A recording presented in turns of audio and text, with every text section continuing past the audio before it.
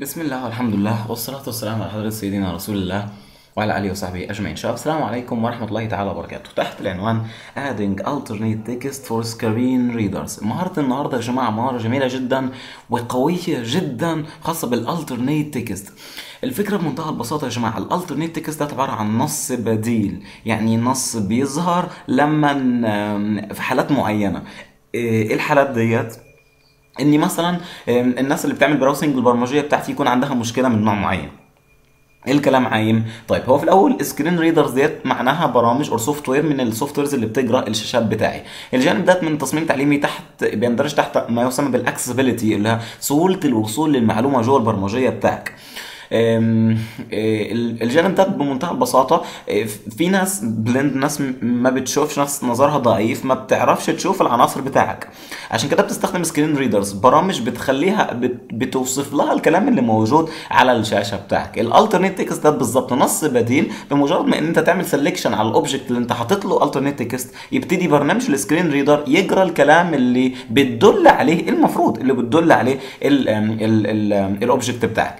يعني الكلام ده. طيب أنا معايا object اهو shape شخصية زي ديت. هضغط click يمين عليها وإيه من size and option الجانب الأخير اللي إحنا ما اتكلمناش عنه كان عبارة عن alt text represent for alternative text ونص بديل. وهكتب مثلا كلمة hello مثلا I am Suzy وهعمل close تمام؟ طبعا أنا. علشان ال- الموضوع ده في ال preview مش راح يظهر فأنا مضطر إني أعمل publish البرمجيه تمام يا جماعة فأروح على قائمة publish طبعا ال- المهارة ديت مش في وقتها وكده إحنا بنحاول.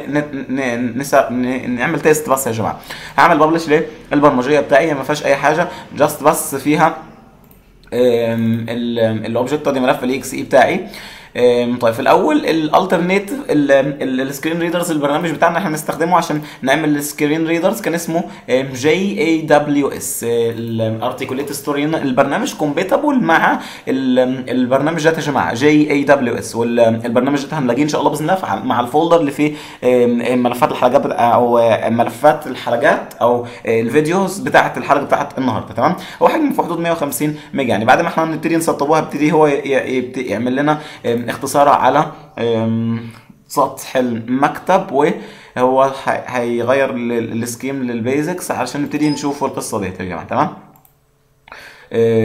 هياخد وقت لحين ما يتسطب.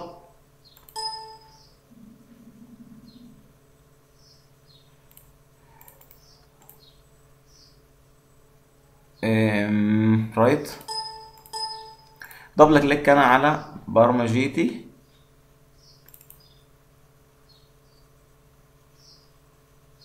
JAWS Professional.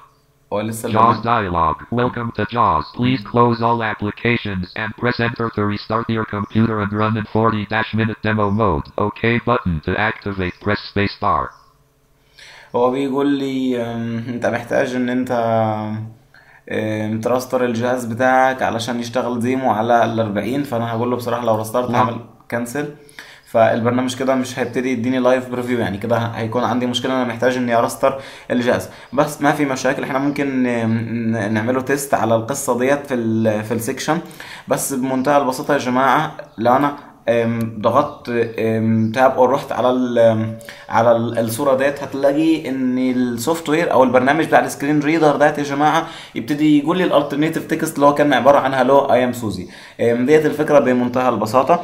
ده جانب جميل جدا بيحاول يسهل من استخدام البرمجية بتاعتك special لأشخاص معينين. تحت معيار سهولة الوصول. ده من معايير تصميم تعليمي. سبحانك اللهم ربنا وبحمدك. لا إله إلا أنت أستغفرك وأتوب إليك. السلام عليكم ورحمة الله تعالى وبركاته.